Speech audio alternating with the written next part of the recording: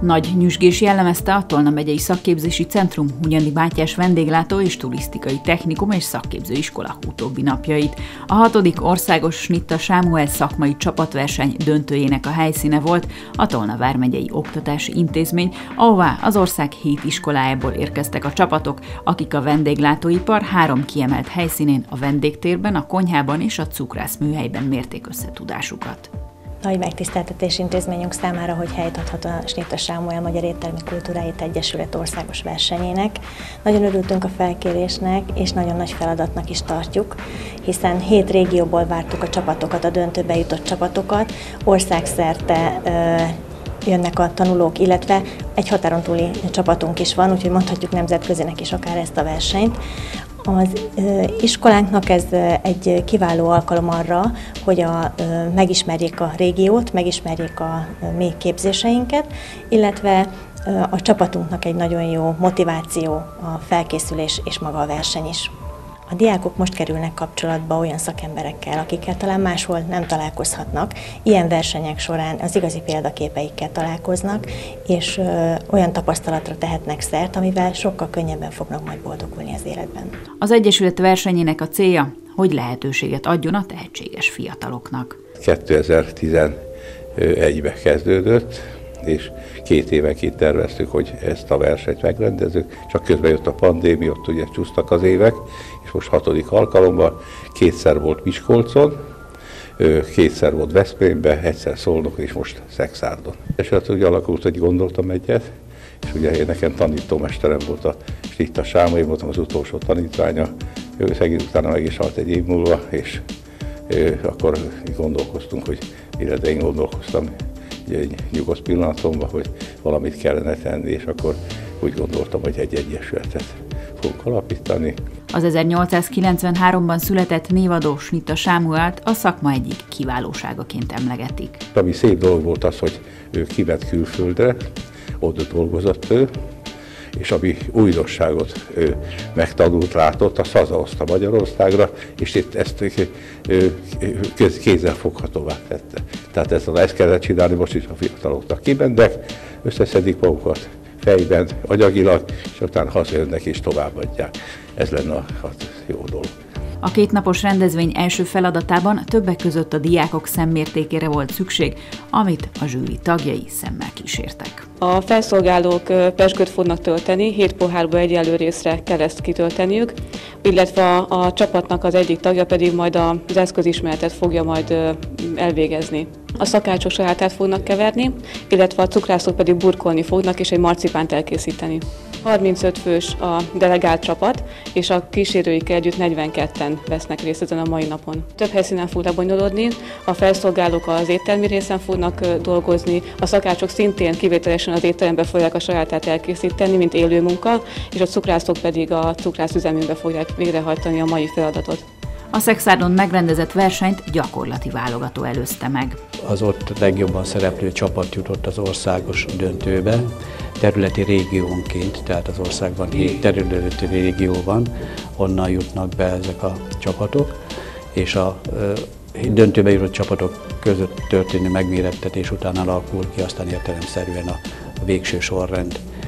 Az idén azonban a pandémia és, és a különböző anyagi problémák, gazdasági problémák arra ösztökölték az Egyesületünket, hogy a előválogatót, az elődöntőt, azt online végezzük, online készítsük el, és éppen ezért az ország valamennyi helyszínén, amikor ezek megrendezésre kerültek, ez ugye hét helyszín volt, ezt egy időpontban végeztük és csináltuk, és az ott legjobban szereplő csapat került a mostani szexárdi döntőbe. A zsűri ebben az évben a szakács és a pincér zsűri is három-három tagból áll, a szakács cukrázsőri olimpiai bajnokokból, világbajnokokból, gasztronómiai követeiből és mesterszakács és mestercukrász címmel rendelkező kollégákból állt össze, míg a pincérzsűrit, azt pedig a Snitta Egyesület, tehát a Snitta Semel Életmű díjjal rendelkező tagjai közül választotta, jelölte ki.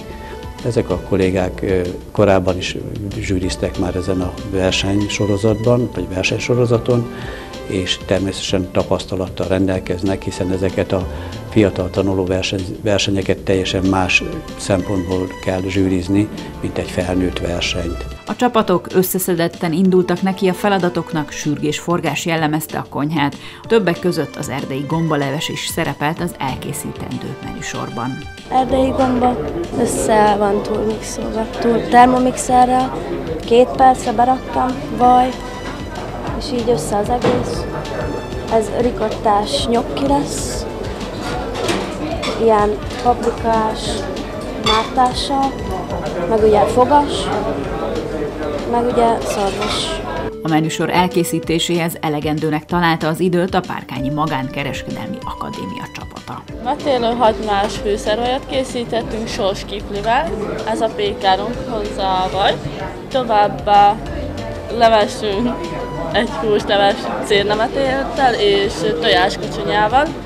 A meleg előételünk egy ilyen veluté, ilyen kapros veluté mártás, rajta egy fogas azon tetején van pirított mandula, ezen temperát rák van koronázva, és a főételünk egy szarvasgerinc filé egészben sütte. A többi csapathoz hasonlóan az ajkai diákok is arra törekedtek, hogy a maximumot hozzák ki magukból. Csináltunk egy tyúkhúslevest, csirke koronggal, ami répával van töltve. Ez egy ö, ö, bagel, ö, olivás, ö, citrusos fűszervajjal, és a főételünk, főételünk az, az egy ö, szuvidált szarvas, mentás borsópürével, áfanyamártással, magyaró felfújtal és sütőtökös szivarkával. A hazai pálya egy kis előnyt jelentett, emelte ki a szexádi csapat. Ez egy szarvas hátszín lesz, ami egy szíra vörösboros mártással és egy Yorkshire pudinggal fog készülni, ami egy nagyon érdekes ilyen sós, sajtos fánk, gyakorlatilag ezt, ezt fánként tudnám leírni, szóval mindenféleképpen ez, ez az étel lesz a leges legkülönlegesebb most az ételsorunkban, de lesz még lecsónk, egy fogasfilénk, és természetesen készítettünk egy fűszervajat is, mint bármelyik más kollégánk, amit kóstolóként, előételként fogunk felszolgálni. Az ünnepélyes diátadó alkalmával elismerték a lelkiismeretes, jól felkészült diákok munkáját. A csapatok nem távoztak üres kézzel. A Tolna megyei szakképzési centrum kancellára elmondta, ez egy bizonyítási lehetőség a jóképességű diákok számára. Ami miatt meg nekünk ez fontos, Többek között azért, mert elkötelezettek vagyunk a tehetséggondozás iránt is. Azzal, hogy Tolna megyében működik egy szakképzési centrum, illetve Tolna megyének az adottságai, azok nagyon erősen a, a turizmus, a gasztronómia irányába is elmozdulnak.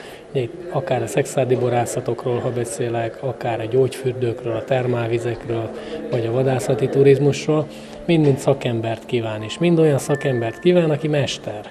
Most hát itt még nincsenek mesterek, de mesterjelöltek már vannak, és azt gondolom, hogy egy ilyen megmérettetés pontosan arra jó, hogy, hogy azok a gyerekek kerüljenek előtérbe, és, és muta, kapjanak bizonyítási lehetőséget, akik később várhatóan majd mesterek lesznek. Ide mindig a legjobbakat hozzák. A kollégáim itt voltak, és velük, velük beszéltem pár szót, és mindenki azt mondta, hogy nagyon gyönyörű munkák készültek a mai napon, nagy pörgés volt a konyhán, a cukrász műhelyben, a gyerekek nagyon oda tették magukat.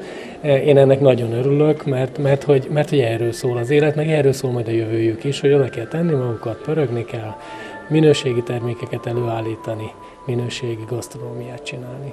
Az első helyen a Párkányi Magánkereskedelmi Akadémia csapata végzett, a házigazda a szexári csapat a negyedik helyen zárta a kétnapos versenyt.